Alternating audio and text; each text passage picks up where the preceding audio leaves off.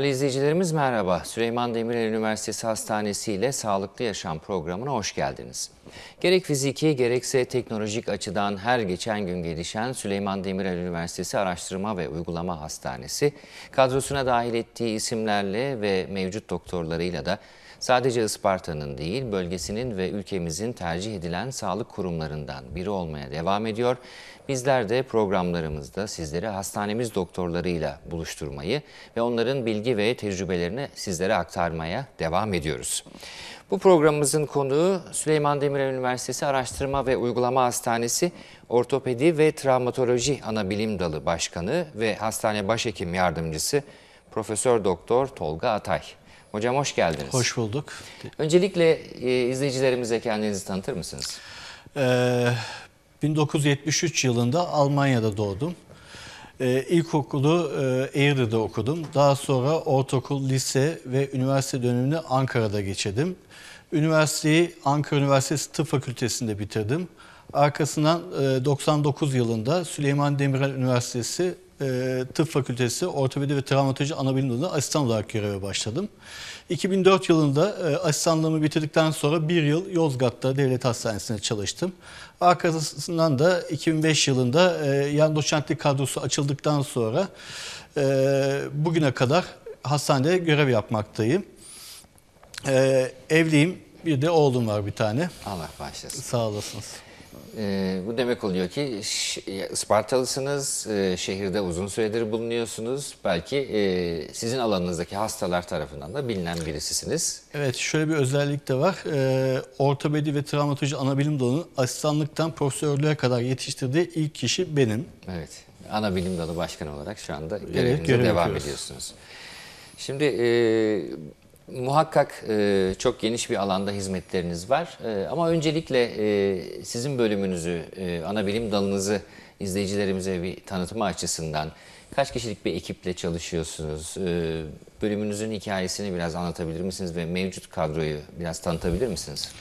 Bölümümüz 3 tane profesör, e, bir yardım doçent ve 10 asistanla hizmet vermektedir. 2 adet polikliniğimiz var. E, onun dışında 2 tane ameliyathanemiz. Ameliyathanemiz haftanın 5 günü aciller dışında normal rutinde haftanın 5 günü sabahtan akşama kadar 2 masa şeklinde hizmet vermekteyiz. Servisimiz olarak da 36, 36 yataklı bir servisimiz var. Kliniğimizde e, travma e, alanında oldukça oldukça iddialıyız. Bu konuda hatta bölgede referans hastanesi bile sayılabiliriz. E, e, protezler konusunda travma alanında olsun, pediatrik ortopedi alanında bütün ameliyatları kliniğimizde yapabilmekteyiz. Ve ben de 99 yılından beri de bu hastanede hizmet veriyorum yani. Evet hocam genelde e, bizim bildiğimiz kadarıyla ortopedi ve travmatoloji polikliniklerine gelen hastaların birçoğunda e, gerek yaşsal sebeplerden gerekse diğer e, kaynaklardan diz ağrısı çok popüler. E, ve belki e, akış gereği protez uygulamaları söz konusu. E, dolayısıyla bugün sizinle diz ağrısı ve diz protezlerini konuşalım istedik.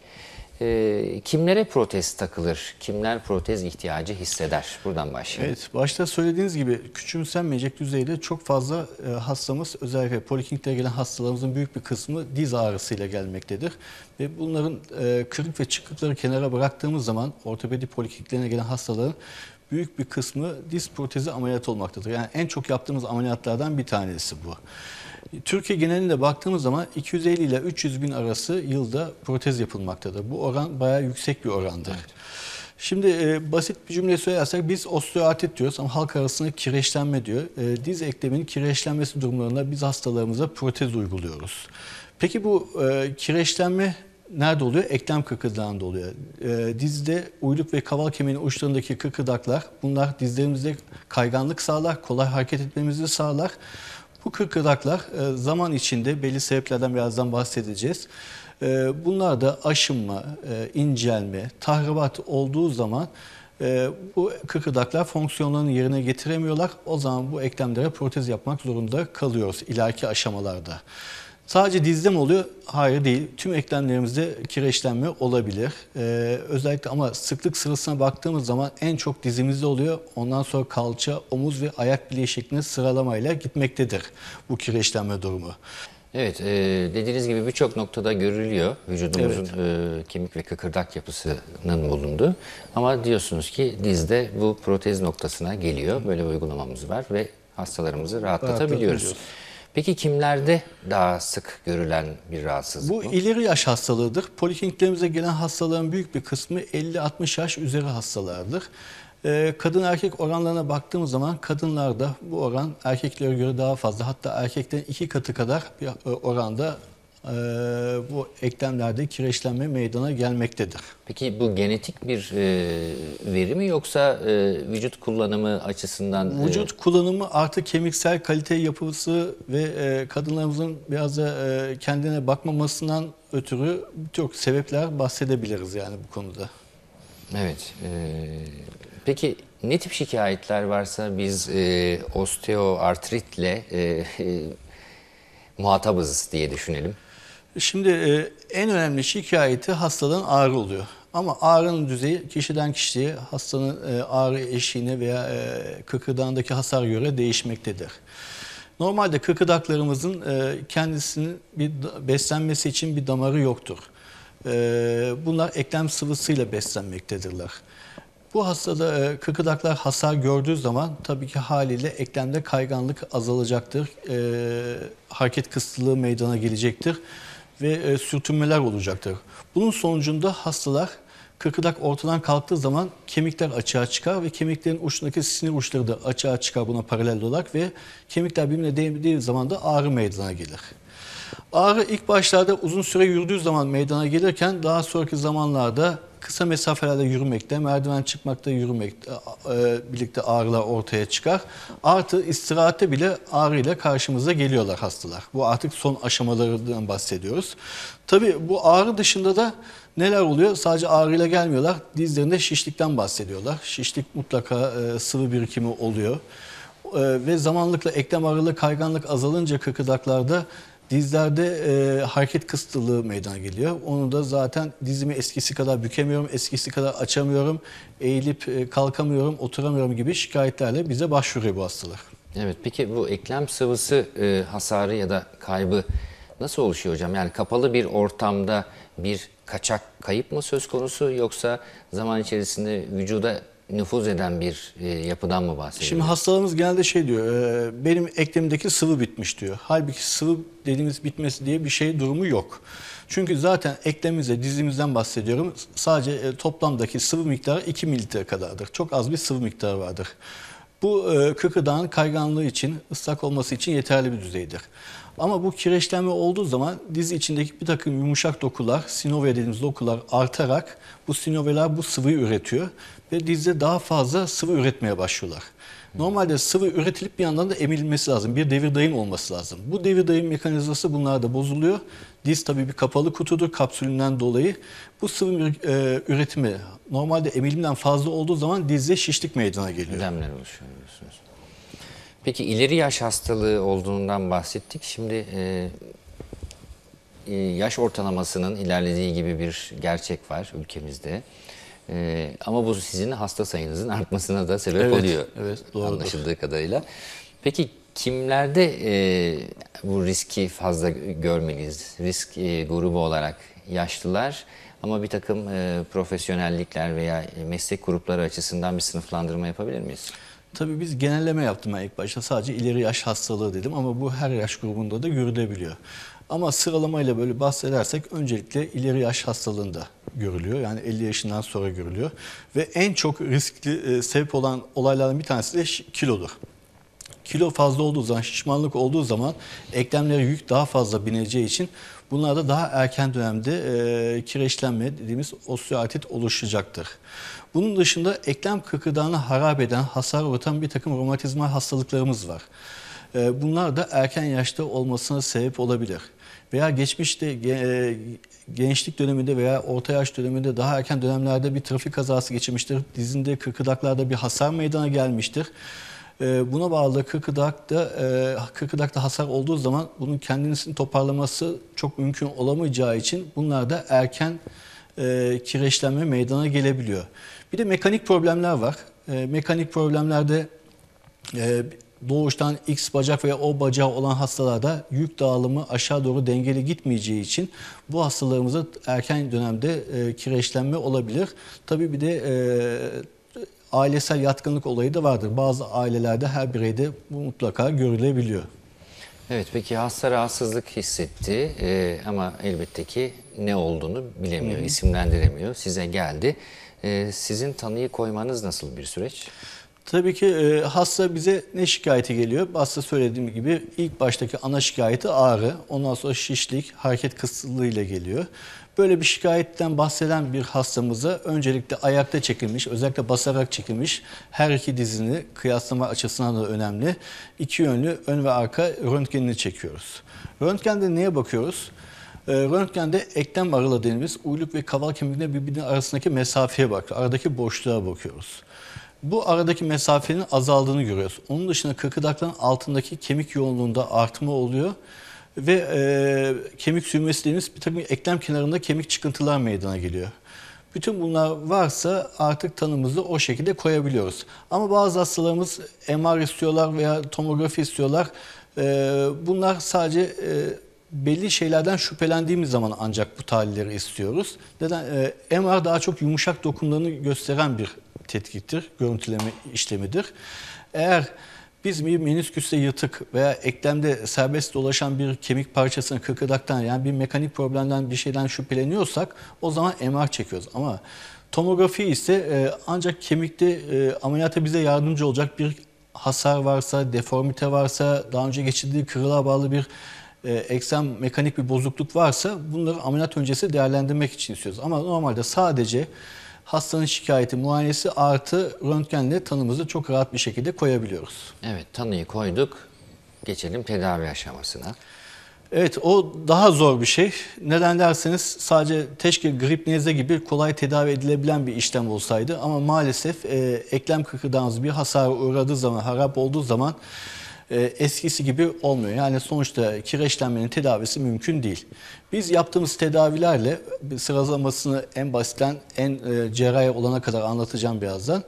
Böyle e, durumlarda mümkün olduğu kadar bu protezi ameliyatı geciktirmeye ve olayı mümkünse durdurmaya ve yavaşlatmaya çalışıyoruz. Hiçbir şekilde kıkırdak e, eski haline gelemiyor bunlarda. Proteze karar verme aşamasına geldiğimizi düşünelim. E, buna karar vermedeki kriterleriniz neler? Şimdi e, ileri tabii orta veya hafif düzeyde e, kireçlenmemiz var. Hastanın geliş durumuna göre tedavimiz tabii ki değişiyor. Ama e, başlangıç aşamasına geldiği zaman hasta mutlaka e, bunların e, eklemini koruyucu yönelik önlemlerde bulunuyoruz ve tavsiyelerde bulunuyoruz. Bunlar nelerdir ilk başta? Eğer hasta kiloluysa bir diyetisyene yolluyoruz. E, kilo vermesi mutlaka sağlıyoruz. E, veya asansörsüz yüksek bir e, apartmanda yaşıyorsa imkanı varsa e, giriş katında bir yere taşınmasını veya asansörlü bir eve taşınmasını tavsiyelerinde bulunuyoruz. Ve bu ağrılardan dolayı e, eklem hareket kısıtlılığı da oluşunca bunlarda kaslarda zayıflama meydana geliyor. Bu kasları da güçlendirici e, bir takım egzersiz ve önerilerde bulunuyoruz hastalarımıza. Bu has, e, bunu mutlaka ilk baştaki e, ilk aşamadaki hastalarda önerdiğimiz tavsiyelerden bir tanesi bunlar. Bunun dışında tabii ki takviye olarak takviye ilaçlarımız oluyor. Bunlar nedir? Ağrı kesiciler, antiinflamatuar ilaçlar ve kremler veriyoruz. Bunlar daha çok bu kireçlenme sırasında ortaya çıkan inflamasyonun azaltıcı antiinflamatuar ilaçlar veriyoruz. Bunlar bu şekilde bu inflamasyonla kıkırdan daha fazla hasar uğramasını e, olayını azaltmaya çalışıyoruz. Bu arada e, bütün bunları yaptık ama hastanın hala şikayeti varsa o zaman eklem içi enjeksiyon yöntemlerine geçebiliyoruz. Eklem enjeksiyonu olarak da e, horoz ibiğinden menşeli olan hyaluronik asit dediğimiz e, bir takım iğneler var. Bunların e, esas görevi eklemdeki kayganlığın azalan yüzeyi kaplayarak bu maddeler eklemdeki kayganlığı sağlamak. Kayganlığı sağlayınca da hastanın ağrısı ve hareket e, açıklığı artmaktadır.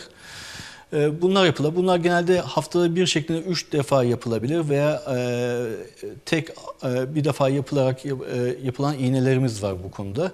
Genelde ne kadar idare edeceği ne kadar süre hastalığın ağrısız bir dönem geçireceği hastanın kireçlenme düzeyine bağlıdır. Bazı hastalarda birkaç yıl ağrısız bir hayat geçirirken bazıları da çok az bir şekilde 6 ay kadar idare edebiliyor. Eklem içine kortizon enjeksiyonu yapılan durumlar da var ama bunu biz genelde tavsiye etmiyoruz. Çünkü kortizon enjeksiyonu yaptığınız zaman çok rahat bir şekilde ağrısını birkaç ay şeklinde ağrısız bir şey hayat geçirebilir ama bu kortizon etkilerinden dolayı kıkırdaktaki harabiyeti biz biraz hızlandırmış oluyoruz. Kimi yapıyoruz? Mesela 90 yaşında bir hasta geldi. ileri derecede kireçlenmesi var. Bir takım hastalıklarına dolayı ameliyat olması çok riskli ise o zaman onu idame ettirmek amacıyla bu hastalara biz enjeksiyon yapabiliriz. Ee, artı e, normal reçeteye yazılamayan ama Tarım Bakanlığı onaylı bir takım e, kondroitin glukozamin adı verilen e, takviye e, kıkıdak yapı taşları içeren içinde yani kıkıdak vitamin diye de söylediğimiz ilaçlar var. Bunları da hastalara tavsiye ediyoruz kullanmasında. Bunların da bir zararı yok. Tüm bunları e, yaptık. Ee, ha buna geçmeden önce tabii ki bir de çok halkımızın hep sorduğu, mutlaka sorduğu konulardan bir tanesi dizime acaba kök hücre yaptırsam, e, PRP yaptırsam faydası olur mu? Başka yerde duyduk çok fayda görmüş diye bahsediyorlar. Bunlardan biraz bahsetmek istiyorum. Kök hücre daha çok e, hastanın yağ dokusundan alınan veya iliğinden alınan materyalin özel işlemlerden geçtikten sonra eklem için enjeksiyonu yapılıyor. PRP dediğimizde ise e, hastanın kendi kanı belli bir santrifüjden geçtikten sonra ve bir takım maddeler eklendikten sonra kanın sadece serum kısmı, e, sıvı kısmı alınarak diz içine yapılan işlemdir. Bunlar ancak kimi yarar? E, hafif ve orta düzeyde kireçlenmesi varsa yani eklem aralığı varsa hastanın onlarda işe yarar. Onun dışında e, ileri düzeyde e, kireçlenmesi olan ve eklem aralığı olmayan hastada yapmasının hiçbir anlamı yoktur. Ve bu işte çok ülkemizde suistimal ediliyor. Çok fazla yerde yapılıyor. Ama e, hastalara büyük umutlar söyleniyor. Ağrınızı geçireceğiz, kireçlenmeci durduracağız diyorlar ama maalesef uygun hasta seçilmediği takdirde bunların hiçbir faydası olmuyor. Evet. Tüm bunları yaptık, ettik ama gene hiç başarılı olamadık. O zaman artık yavaş yavaş cerrahiye kaymaya başlıyoruz. Tabii protezden önce daha bir aşamamız daha var bu konuda. O da kapalı ameliyat hatta kansız ameliyat dediğimiz artroskopi işlemi yapılabilir hastalara. Artroskopi işlemi e, çok e, hastanın bir gün hastanede kaldığı, e, uzun süre yatmasına gerek kalmayan bir işlemdir. E, bunda iki küçük delikten birinde kamerayla diğerinde el aletleri bir takım özel aletler girerek eklem için her yerini inceleyebiliyoruz. Sadece e, bazı durumlarda sadece eklem içini yıkamak, oradaki bahsettiğim ödemi boşaltmak bile hastaları çok rahatlatabiliyor bu işlemlerde.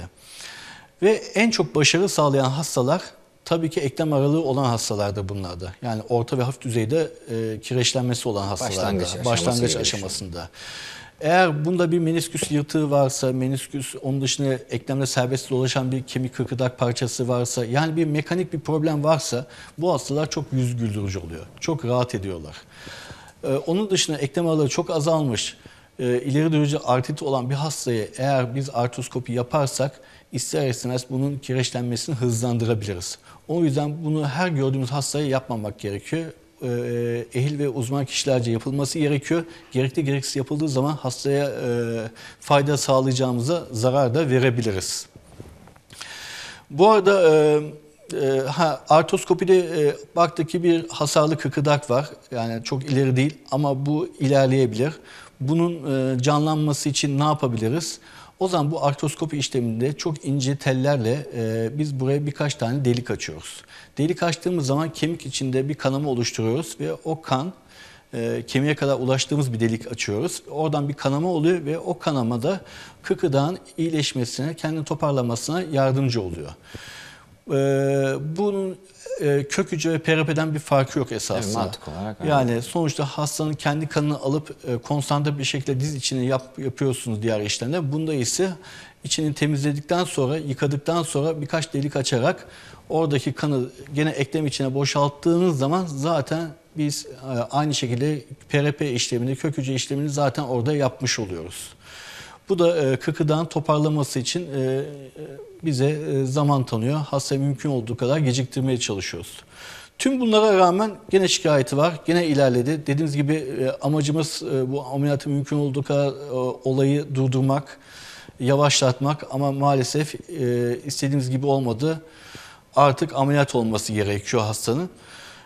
Yani bahsettiğim gibi ülkemizde çok fazla yapılıyor bu ameliyat. Mümkün olduğu kadar ve birçok cerrah arkadaşımız bu ameliyatı çok kısa sürede yapıyorum, çok fazla yapıyorum diye övmek yerine bizler, biz cerrahlar ne kadar hastayı biz diz protezinden kurtarabildik diye ne kadar hastanın ilerlemesini, yaşını geciktirdik diye e, çalışmalıyız ve bu konuda kendimizde gurur duymalıyız övünmeliyiz. Çünkü diz protezi çok masum bir ameliyat değildir. Sonuçta çok büyük bir işlemdir. Eklemi açıyorsunuz, kıkırdaklı yüzeyli eklemleri tamamen dışarı çıkartıp iki yüzeye metal yerleştiriyorsunuz. Ve tabii ki anestezi ve e, riskleri ve ameliyata bağlı risklerle e, bir takım bir sıkıntılı süreç. so- su- süreçlerle karşılaşabiliyoruz. O yüzden mümkün olduğu kadar biz bizler bu ameliyatı hastaya yapmamak için uğraşıyoruz ve geciktirmek için uğraşıyoruz. Son nokta olarak tercih Aynen öyle yani. Mümkün olduğu kadar bu işi yapmamak lazım yani. Evet. Şimdi e, tedavi yöntemlerinden birinde horoz ibiği e, Evet. e, adıyla tanımlanan bir enjeksiyondan bahsettiniz. Kemik yüzeyinde bir yapı oluşturuyor. Kemik yüzeyini e, bu bir e, elinize aldığınız zaman sıvıyı böyle kaygan bir maddedir. Şeffaf, kaygan bir maddedir. Esas problemimiz kırkıdak yüzeyin e, pürtüklü harabiyet haline gelmesi ve birbirine sürtüp hasar oluşması ve ağrı oluşmasıdır. Biz sanki içeri yağlıyormuş gibi Evet. Oraya eklemin içine enjekte ettiğimiz zaman oradaki kayganlığı sağlıyoruz. Peki bu malzemenin e, her kemiğe e, tutunma oranı aynı mıdır? Yoksa o da kişiden kişiye değişebilir mi? E, tutunmayla ilgili bir sıkıntı yok ama tabii ki e, kıkıda olmayan sadece kemik gözüken bölgeleri sadece e, dizi içine baktığımız zaman birçok yerde çıplak kemik gözüküyorsa ve kıkıdak yoksa bu hastalığı yaptığımız zaman tabii ki bu işe yaramayacak. Yani genelde sadece orta ve hafif düzeydeki kireçlemelerde çok başarılı sonuçlar elde edebiliriz. Olayı mümkün olduğu kadar geciktirebiliriz. Tabii tek başına hastalar e, bu ilaçlardan fayda sağlamaz. Ya bu hasta bu ilaçlardan beklentileri olmaması lazım. Bunun dışında tabii bahsettiğim gibi kilo vermesi lazım, yaşam kalitesini değiştirmesi lazım, egzersizlerini yapması lazım. Bütün bunlara uyuyorsa, kendine e, dikkat ediyorsa ancak o zaman bu yardımcı ilaçlardan ve tedavilerden fayda sağlayacaktır. Evet, bir bütün olarak düşünmek Aynen gerekiyor. bir bütün olarak düşünmek gerekiyor yani. Tıbbi kapsamdan e, nın kapsamın yanında e, fiziksel aktivite veya dediğiniz gibi Yani kilo ile ilgili gelip bana bir şey yap diyor, bu ağrılarım tamamen geçsin diyor ama bu maalesef mümkün olan bir şey değil. gibi bir şey. Yani sonuçta bu karşılıklı bir çalışmayla iki tarafında kendisine bir şeyler vererek, uğraşarak, ederek yapması gereken bir işlemdir. Evet. Peki proteze dönecek olursak e, kullandığınız bir tip mi protez var? E, üretim menşei vesaire e, konuları açısından soruyorum. Çeşitleri var mı? Birçok çeşidi var ama buna geçmeden önce bir şeyden bahsetmek istiyorum. Ee, bu bence önemli. Ee, proteze nasıl karar veriyoruz? Bir defa sadece filme bakıp karar vermek çok yanlış bir olaydır. Çünkü bazen öyle bir hastalarımız bizi şaşırttı ki zaman içindeki tecrübelerimizde. Filmine baktığımız zaman e, çok ileri düzeyde, hiç eklem aralığı olmayan, e, ileri düzeyde kireçlenmesi olan hastalarımız geliyor. Bana ameliyat dediler diyor. Ne şikayetim var diye sorduğumuz zaman hiçbir şikayetim yok. Ben çarşıya kadar yürüyebiliyorum. Sıkıntı yok. Namazımı kılabiliyorum, yürüyebiliyorum. Bir sıkıntı yok. E niye geldin? E, bana ameliyat önerdiler diyor. Yani sonuçta sadece filme bakarak karar vermemek gerekiyor. Hastayı mutlaka dinlemek, şikayetlerini dinlemek ve muayenesini yapmak gerekiyor. Eğer bir hasta, e, bizim en çok sorduğumuz sorulardan bir tanesi, kaç metre yürüyebiliyorsun?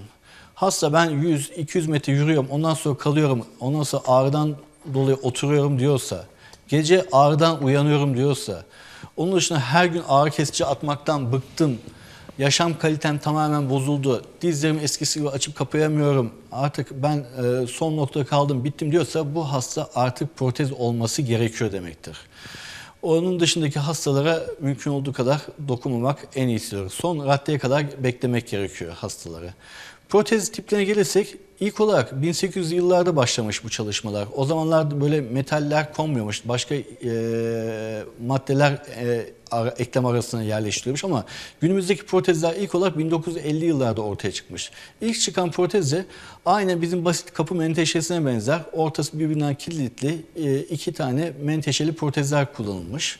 Ama bakmışlar ki kısa dönemde bunlar e, kemikte kırık oluşmuş, protezde kırılmalar olmuş, erken gevşeleme, gevşemeler olmuş ve bunlardan vazgeçilmiş ve e, gitgide ilerleyerek 70'lerden sonra günümüzün e, protezlerine benzer protezler ortaya çıkmış. Bu protezler üç parçadan oluşuyor. Bir tanesi, iki parçası metalden oluşuyor. O dönemde ilk olarak krom kobalt metali kullanılmış. Ee, bu krom kobalt birincisi uyluk kemiğinde, birinin kaval kemiğinin uçlarına yerleştiriliyor. Bunların da metallerin birbirine sürtmesini engellemek için, hareketi sağlamak için de plastiğe benzer polietilenden arada bir plastik yerleştiriliyor. Ee, günümüzdeki benzer protezler haline geliyor. Ondan sonra e, bunlarla ilgili sıkıntılar yavaş yavaş başlayınca bir takım eksiklikleri görünce ta ikinci jenerasyon hatta günümüzde üçüncü jenerasyon kadar yeni protezler imal edildi, dizayn edildi. Günümüzdeki protezler normal diz mekaniğine, biyomekaniğine uygun hale gelmiştir. Günümüzde artık e, krom kobalt yerine e, kobalt işte e, kobalt titanyum alaşımları kullanılmaktadır. Bunlar biyo yararlılığına daha fazladır, daha uygundur. Protez tiplerine gelirsek Önce ikiye ayırmak gerekiyor protezleri, diz protezlerini. Kemiğe tutunma açısından ikiye ayrılır. Bir e, kemiğe çimento ile, kemik çimentosuyla tutturulanlar var. Bir de çimentosu tutturulanlar var. Ee, günümüzde en çok kullanılan yöntem kemik çimentosuyla tutturulan protezlerdir. Tespit edilen protezlerdir. Ee, çimentosuz protezlerin revizyonların e, daha sonra kemik kaybı hasarı daha fazla olduğu görüldüğü için ve bunlarla ilgili şikayetli olduğu için artık o biraz bırakılmıştır. Daha çok günümüzde çimentosuz protezler, e, çimentolu protezler kullanılmaktadır. Bunun dışında kullandığımız protezler içinde, e, çimentolu protezler içinde yine bağ kesen, bağ kuran diye iki tip protez var.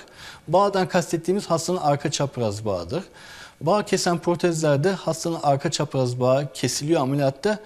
Ee, onun yerine geçen bir içindeki bir parça vardır. Onun yerine geçen e, bir protezler kullanılmaktadır.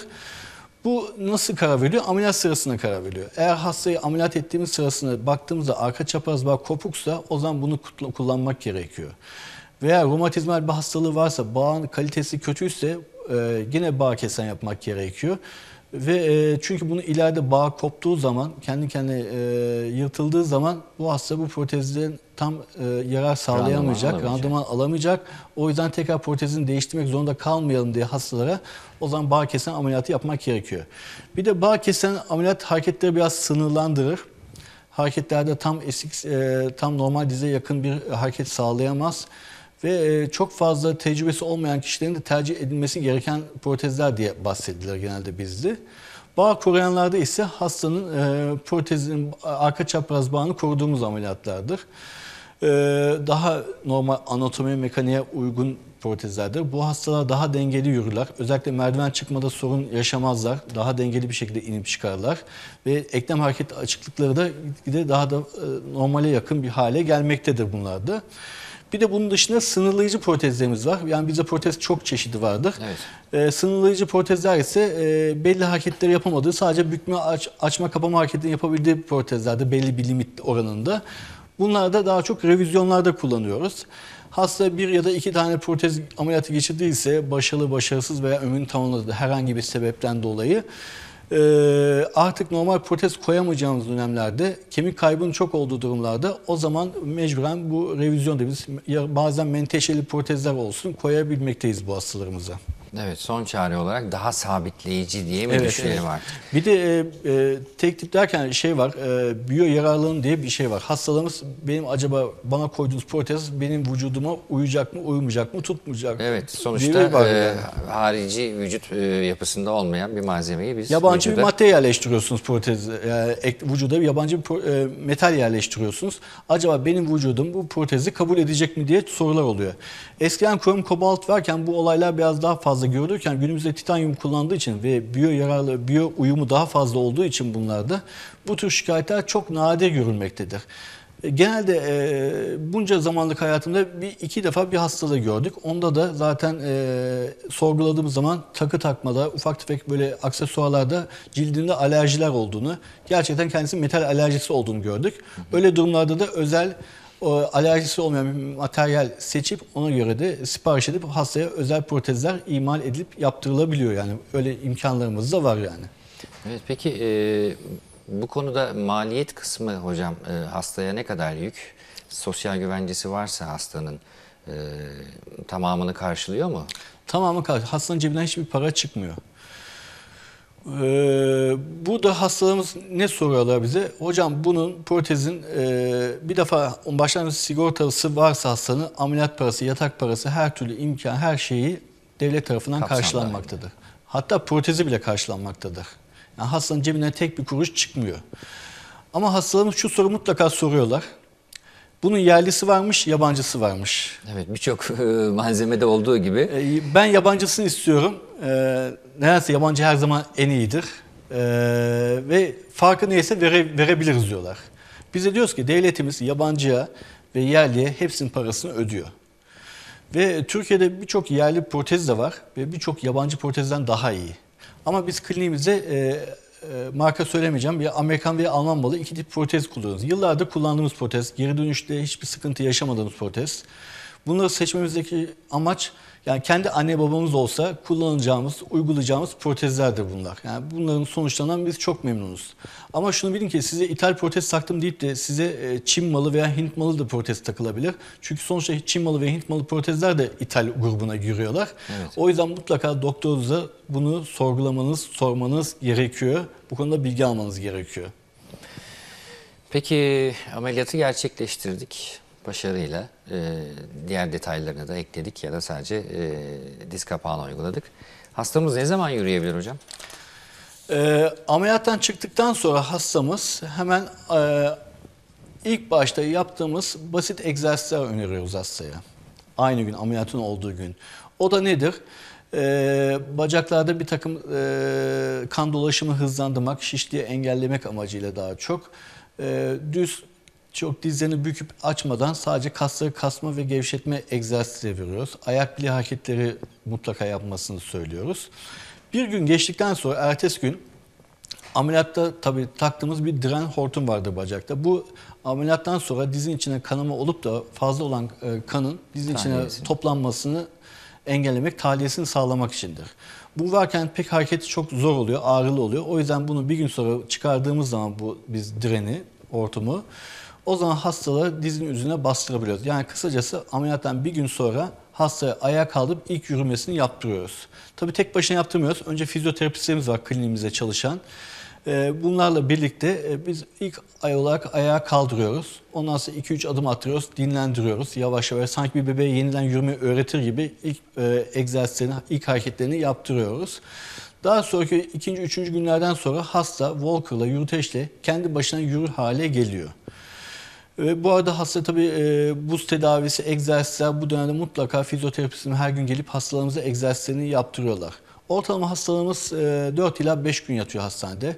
Kendi kendine yürüyecek hale geldikleri zaman, onun dışında e, egzersizlerini yapabileceğini anladığına emin olduğumuz zaman, dizi en az 90 derece kadar büküldüğünü gördükten sonra ve yarasında bir problem olmadığına inandığımız zaman hastalarımızı ancak o zaman taburcu edebiliyoruz. Onun dışında biraz daha uzayabiliyor veya daha erkende de e, değişebiliyor bu tabii süre. Evet siz söylediğiniz için özellikle aklıma geldi. Ee, fizik tedavi ve rehabilitasyon ünitemizin de gayet e, kapsamlı olmasının sizin e, yaptığınız işin bütününde e, faydası Tabii, olduğunu yani- biliyoruz. Bu e, olay sadece cerrahın yapıp da ben yaptım bitti. Ondan sonra hasta bundan sonra sıkıntı yaşamayacak diye bir şey yok. Yani e, bu bir ekip işidir. Sonuçta bu ekipte hastayı ilk muayenesinden, röntgeninden başlıyorsunuz. Ondan sonra anestezi var. Hastayı uyutuyorlar ya spinal anestezisini yapıyorlar. Onların bakımı var. Ondan sonra diyetisyenler tabii ki e, olayı var E, ve mutlaka hastanemizde çalışan fizik tedavi ve fizyoterapistlerimiz var. Hocalarımız ve fizyoterapistlerimiz var. Bunlarla beraber bir ekip içinde olması lazım. Ancak o zaman hastada başarı ve fayda ve uzun ömür sağlayabiliriz yaptığımız işlemde. Özellikle hastanemizin bu bütün donanımı e, üst düzeyde kucaklıyor olmasını e, seyircilerimize bir kere daha vurgulamayı... ekip olmaktan gurur duyduğum kısımlardan bir tanesidir bu benim yani. Evet, şimdi sonuçta bir operasyondan bahsediyoruz ameliyattan. Her ameliyatta bir riskten de bahsedebiliyoruz. Buna özel, bu e, uygulamanıza özel e, riskleri varsa sayabilir miyiz? Bu maalesef hastalar önceden bilgilendirilmeyen durumlardan bir tanesidir. Sonuçta bir ameliyat oluyorsun. Ufak bir tırnak çekiminde bile bir risk vardır. Ee, hastalarımızı mutlaka ameliyattan önce olabilecek tüm riskleri anlatmamız gerekiyor. Sonradan bir sürprizle karşılaşmamak için. Yani çok şükür başımıza bir şey gelmedi ama biz hastalarımıza mutlaka bu olayları tek tek anlatmamız gerekiyor. En çok pıhtı atmasından korkuyoruz. Pıhtı atması nasıl oluyor?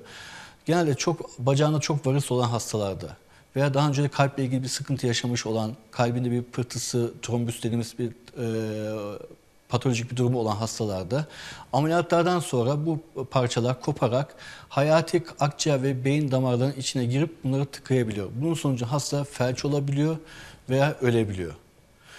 Ee, en çok korktuğumuz olay da bu olmasın diye ameliyattan itibaren ameliyata başladığımız andan itibaren hastaya hatta ameliyattan sonra da bir 30 gün kadar kan sulandırıcı iğneler yapıyoruz.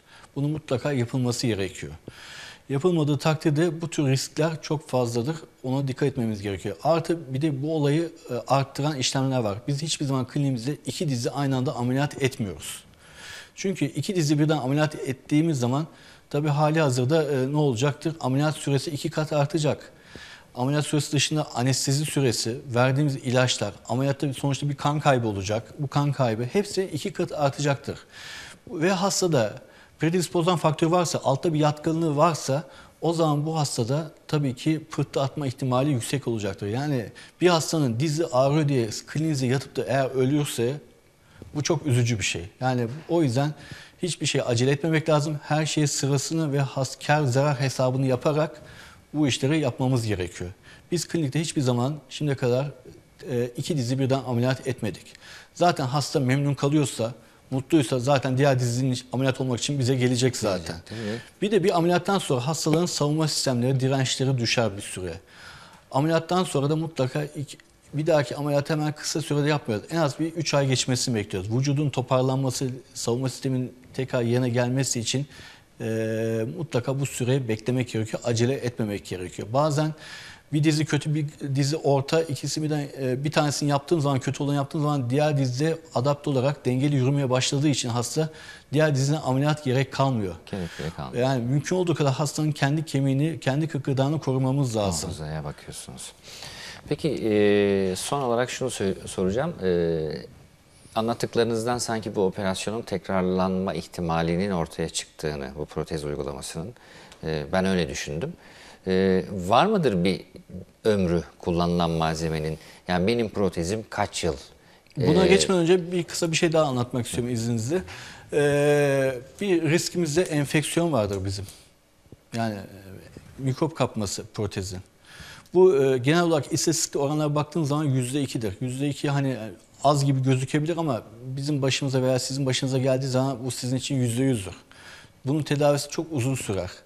Yani bir yıl boyunca bununla uğraşabilirsiniz tedavinin geçmesi, enfeksiyonun geçmesi için. Bu sonuçta bir enfeksiyon olduğu zaman protezin değişimine kadar gidebilen bir olaydır. Burada e, eğer hasta ilk iki ay içinde enfeksiyonla karşılaşırsa bu genellikle ameliyat sırasında bir mikroorganizmanın e, kapıldığı anlamına geliyor. Bunun için mutlaka ameliyathane ortamının e, uygun steril olması, havanın steril olması lazım. Yani bunun için mesela ameliyathanede laminar flow dediğimiz özel havayı temizleyen filtrelerin olması lazım. Artı cerrahın da steriliteye azami şekilde mutlaka dikkat etmesi gerekiyor. Eğer iki aydan sonraki 10. aylarda falan bir enfeksiyon meydana gelirse bu o zaman hastada bir enfeksiyon odağı var. Bu enfeksiyon odağı kan yoluyla e, dizine ulaşmış ve orada bir enfeksiyon oluşturmuş anlamına gelir. Mutlaka hastalara ameliyattan önce dişinde bir apse var mı? İdrar yaparken yanman oluyor mu gibi soruları mutlaka sormamız gerekiyor. Yani vücudunda eğer bir yerde bir enfeksiyon odağı varsa önce onu tedavi etmemiz gerekiyor. Ameliyat yaptık bitti mi? Ee, değil. Mutlaka iki yıl kendine dikkat etmeli. En ufak bir enfeksiyonda, bir problemde mutlaka en yakın sağlık kuruluşuna gidip bunu tedavi ettirmesi gerekiyor ki protezi uzun ömürlü olsun. Uzun ömür demişken e, sizin sorunuza gelirsek e, ben bunun önemli olduğunu düşünerek araya girdim. E, hastalarımız tabii ki mutlaka bu soruyu soruyor. Sorduğu zaman da söylediğimiz şey genelde bu protezler 20 yıl dayanıyor diyoruz. 15 ila 20 yıl dayanıyor diyoruz. Ama bu da amaları var. Amalar nedir? Ee, hasta diyoruz ki çok kiloluysa bu protezi binen yük daha fazla olacağı için e, tabii ki aşınma ve e, gevşeme olacaktır bu protezde. Sonuçta bir metal, metal yorgunluğu aşınması, içindeki o plastik kısmı aşınması olacaktır. Buna bağlı bu süre yani bir rakam veremeyiz ama 15-20 yılın altına düşecektir. Ee, tabii diyabeti vardır hastanın. Ama kontrolsüz bir diyabettir. Sürekli e, kontrol etmediği için bunlarda tabii ki ne vardır? Enfeksiyon ihtimali çok yüksektir. Onun dışında da romatizmal bir hastalığı olan hastalarda kemik kalitesi hastalığından dolayı çok e, yumuşak olacağı, sıkıntılı olacağı için bu hastalarda e, ve bunlarda da yine aynı şekilde e, buna paralel olarak enfeksiyon oranı da fazla olduğu için bunlarda ömürlerin daha az olacağını mutlaka hastalarımıza söylüyoruz. Ama her halükarda zayıf bir hastaysa, kendi sporunu, sağlığına, her şeyine dikkat ediyorsa e, en az 15-20 yıl dayanacağını söylüyoruz. Tabii literatürde 30-35 yıl dayanan protezler de var. Onları case report olarak tabii ki sunuyorlar. Ama genel olarak da Ortalama e, ortalama 20 yıl dayanması gerekiyor. E, burada tabii ki bir faktör de e, ameliyat cerrah çok iş düşüyor. Cerrah eğer acele ediyorsa ve e, ameliyat sırasında bir kırık oluşturabilir kemikte. Bu da protezin ömrünü azaltabilir. Bunun dışında e, uygun kesi koy, kes, kemikte kesi yapmadıysa, protezi e, kab, e, kaba bir tabirle yani eğri koyduysa bunlar hepsi ömrü etkileyen faktörler. Tam anatomiye uygun yerleştirilmesi lazım. Bunlar yapılmadığı zaman o protezin belli bir yerine daha fazla yük binecek ve o protez oradan aşınmaya başlayacak. Yani çok acıdır ki ameliyat olup da iki ay sonra gelip e, şikayet geçmeyen ve iki ay sonra onun protezini değiştirdiğimiz hastalarla karşılaştık yani. Normalde 20 yıl nere, iki ay nere. Biz yani çok daha kısa sürede bir yılda, bir yıl sonra, iki ay sonra, on ay sonra ameliyat, öncesinde ameliyat olmuş ve bize gelip de e, memnun demeye e, değilim diyen hastalarla karşılaşmıyor değiliz yani. Evet ve bu e, bedeli e, ağır bir ödeme. Aynen öyle. Hem hasta için hem de maddi olarak her türlü e, kurma olan ağır bir yük getiriyor. Dolayısıyla elbette ki siz bunu hekim bilinciyle kontrollü olarak götürüyorsunuz ama biz de e, hastalar ya da potansiyel hastalar olarak e, böyle bir süreci yaşamamız gerektiğini öğreniyoruz ki bu programlarda bu açılardan özellikle bilgi vermek amaçlı yapılıyor. Herhangi bir enfeksiyon hikayemiz varsa ya da mevcut önce onun bertaraf edilmesi sonra operasyonun yapılması doğru bir şekilde doğru malzemelerle acele etmeden dediğiniz gibi.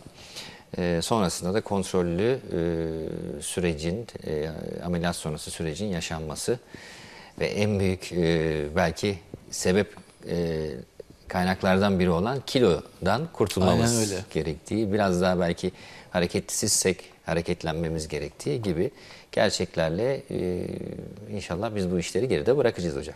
İnşallah. Peki e, son olarak eklemek istediğiniz bir şey varsa onu da alalım. Son olarak herkese e, bol hareketli, sağlıklı hayatlar diliyorum.